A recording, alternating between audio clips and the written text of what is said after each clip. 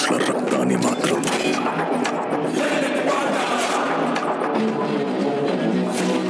ఇప్పటికీ ఏ తుఫాను కడగలేకపోయింది. It was అలాంటోడు మళ్ళీ తిరిగి వస్తున్నాడు అంటే